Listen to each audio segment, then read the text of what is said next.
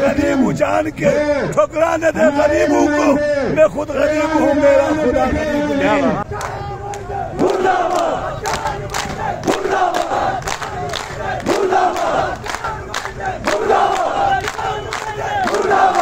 Chief secretary आज से दो दिन पहले जिला से गए थे। जिला जाके वहाँ उन्होंने उलमा कराम और जरगा से खिताब किया। उन्होंने पूरे ज़ोर के साथ कहा है कि हमें गंदम की सब्सिडी बरकरार रखनी चाहिए। हम वरना हम बल्तिस्तान वालों के साथ खड़े होकर इस तहरीक को ऐसा कामयाब करेंगे कि आप सोच भी नहीं सकते। उन्होंने वाजे पैगाम जो है, रात को बियाना के इल्मा ने मुझे फ़ोन किया था। उन्होंने कहा, हमने वन बैन एजेंडा रखा था। हमने एफ़ के जनरल और चीफ सेक्रेटरी को बरमला का है कि इस तहरीक में बल्किस्तान वाला अकेला नहीं है। चिनास वाले एहतियामर के उलमा बल्किस्तान के उलमा के आवाम के साथ साथ खड़े हैं। ठीक है जी?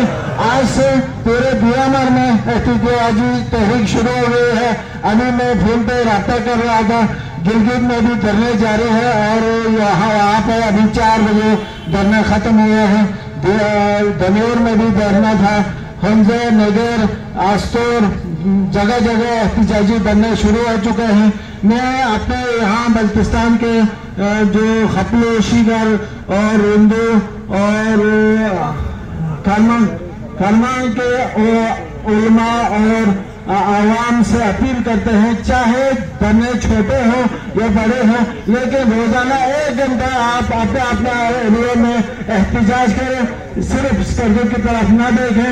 तहसील तो इंशाला फैसला तुम, वो हम करेंगे पूरे जीबी में, लेकिन आप लोगों ने भी अपने अपने एरियो में जो है ना, इस तहरीक के साथ शामिल होना है, और इस तहरीक को दिन ब दिन आप लोगों ने वो पकड़ना है।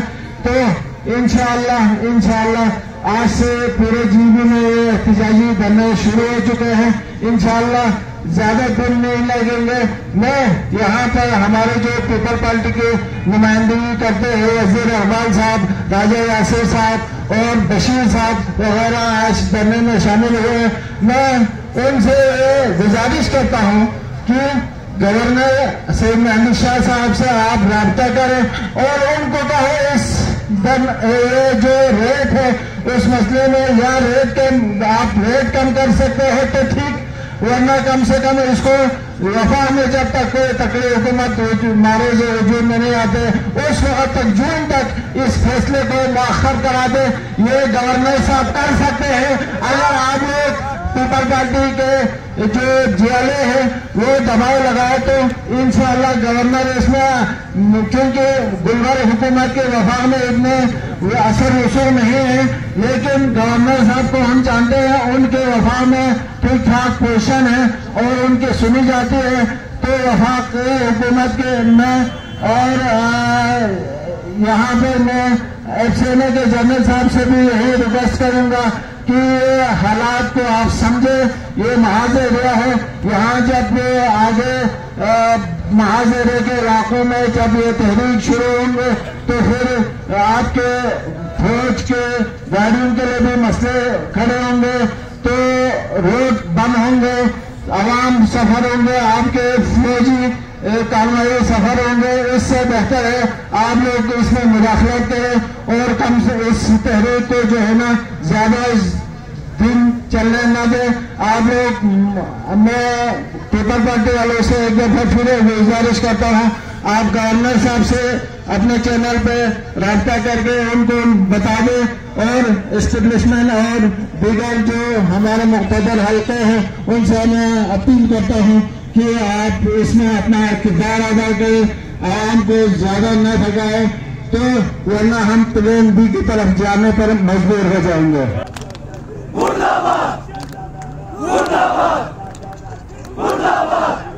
आज मुझे इंतहाई खुशी हुई। कि हमारे स्टेज से बहुत ही खूबसूरत पैगाम आवाम को दिया गया इधारों को दिया गया, हुकूमत को दिया गया तेरी की कामयाबी के लिए बात की गई। यहाँ का किसी भी मुकर्र में आज, अल्हम्दुलिल्लाह, अपनी जाति प्रोजेक्शन के लिए, अपने पार्टी के नेरेटिव को आगे बढ़ाने के लिए, या किसी और मामले के लिए कोई गुफ्तगु नहीं की।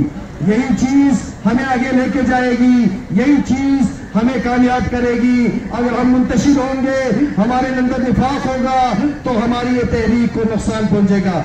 अल्हम्दुलिल्लाह, जिस तरह आज आपने देखा, पूरे हल्का नंबर दो के आटा डीलरों ने जिस तरह आज आटा लेने से इनकार किया। मेरे भाई, मेरे मोहतरम, काबिल एहतराम शेख अहमद तुरानी साहब मुझे यहाँ नीचे मोबाइल पे दिखा रहे थे। उर्दू के तीन आटा सेल पॉइंट पर इन्होंने आटे को उन्हें उधर जो है जी सील करवा दिया और लोगों को लेने से वो किया। तो ये कामयाबी है। मेरे भाइयों, और यहाँ से बहुत ही खूबसूरत मेरे मुकर्रीन ने पैगाम भी दिए कि ये तहरीक बुला रही है। यादगार शोहदा बुला रहा है उन नौजवानों को। आइए आपके इस वतन की आज़ादी के लिए, हमारी इस धरती की आज़ादी के लिए खून देकर ज़िंदा जावदा होने वाले हमारे इन शोधा के रूह आपको तक रही है कि अपने बुज़ुर्गों के हकूक के लिए, अपने गरीबों के हकूक के लिए हमारे नौजवान कहाँ बैठे हुए हैं। आइए यादगार शोधा की तरफ़, यह अवामी जरगा है, यह अवामी रेफरेंडम है, यह अवामी जी मतलब जो है जी असेंबली है, यहाँ आए और अपने इश्यूज़ को, अपने ऊपर होने वाले मजालिम को आप खत्म न कर सके तो रोकने के लिए एक खौफ पैदा करें। आज आप देखें, हम इतिहाद में आएँगे तो हमारे लिए कामयाबी होगी। टाइम की कमी की वजह से मैं बहुत ही मुख्तसर चंद बातें आपसे करूँगा, लेकिन आप गौर से सुने। कल वज़ीर इलियास साहब ने मेरे उस्ताद मोहतरम यहाँ पे अहमद साहब ने यहाँ पे कहा कि कमिश्नर साहब ये कह रहे हैं कि दूसरे डिस्ट्रिक्ट में कुछ नहीं है, सिर्फ़ सिकरदू में ये धरना क्यों है? कमिश्नर साहब, ये जवाब आपको नहीं दूँगा। ये जवाब जो आपका बॉस है, गुलबर साहब, हम उनको देंगे। हाजी गुलबर साहब आपको क्या पड़ी थी? ये प्रेस कॉन्फ्रेंस गिलगिन में करने की बजाय सिकरदू में गए आकर, वो भी हेलीकॉप्टर में आकर आपने सिकरदू में ये क्यों किया? अगर आपने ये सिकरदू में किया है, इसका मतलब ये है कि आपने सिकरदू के गयूर, अवाम के गैरत को लड़कारा है। आपने सिकरदू में आकर प्रेस कॉन्फ्रेंस करके हमारे गैरत को जगाया है। अब ये आपको नहीं छोड़ेगा, या आपको ये फैसला वापस लेना पड़ेगा, या आपको कल जाना पड़ेगा।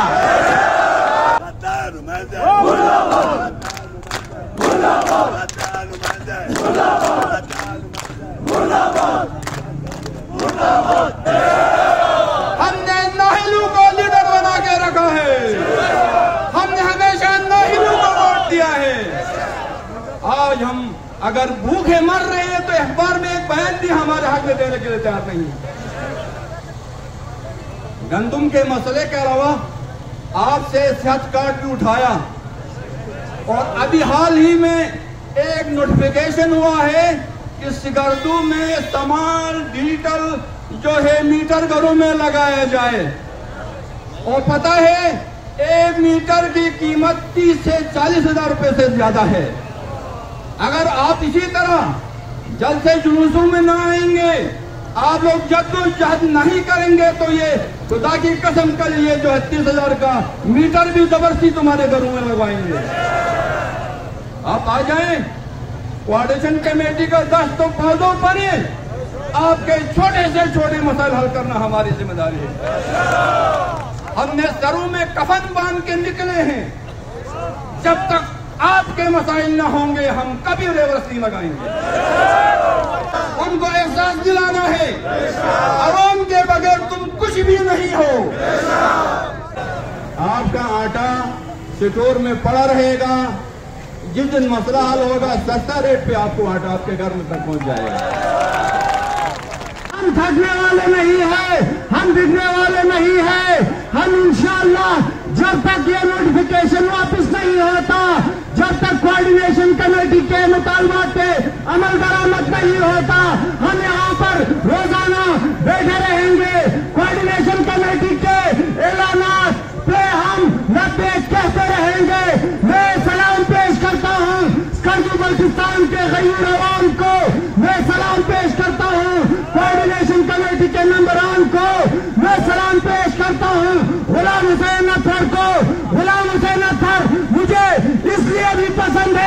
कि गुलाम हुसैन अतर थकता नहीं है।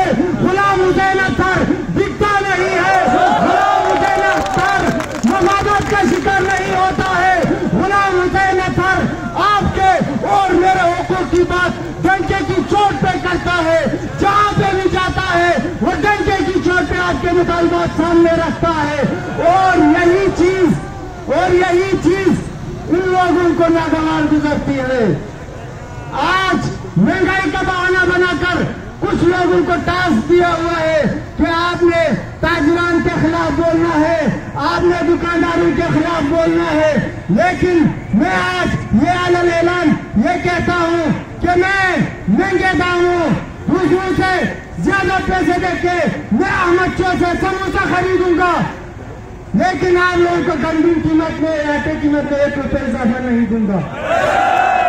मैं गुलाम अब्बास को जायद रकम देकर उससे सामान खरीदूँगा। लेकिन आटे के लिए एक रुपया में इजाफा नहीं दूँगा मैं अली तनवीर करीमी से महँगे दामों सामान खरीदूँगा। लेकिन मकई खुराक को मैं एक रुपये इजाफा नहीं दूँगा। क्या आप लोग भी तैयार हैं? क्या आप लोग मकई खुराक को एक रुपये इजाफी देने के लिए तैयार है? हक लेके रहेंगे। ये किसी की बाप की जागीर नहीं है। ये हमारा हक है क्योंकि बड़े बड़े लोग यहाँ जलसे में नहीं है। उनकी जेबें भरे हुए हैं। हमें इंशाल्लाह गरीब जान के ठुकरा न दे गरीबों को। गरीब जान के ठुकराने दे गरीबों को। मैं खुद गरीब हूँ मेरा खुदा गरीब।